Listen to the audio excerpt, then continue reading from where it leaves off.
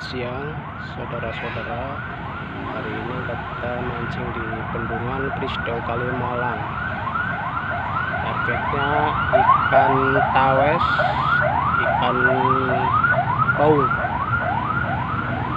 ini ditemenin sama temen ujung sana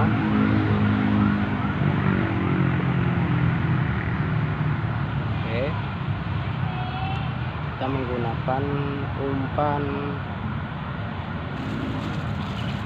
MP dan ulet. Eh, di sini airnya sangat jernih. Nah ini spotnya